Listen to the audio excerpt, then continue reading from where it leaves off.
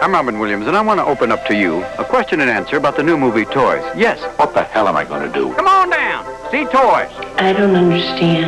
Well, it's like Toys in the Hood. You behave like a buffoon. Thank you. Yes. Do you duplicate alone? That's kind of a personal question. Ah, ah, ah. How do you do that? I'm not going to show you because I want you to see the movie. Toys! Rated PG-13 starts Friday at theaters everywhere.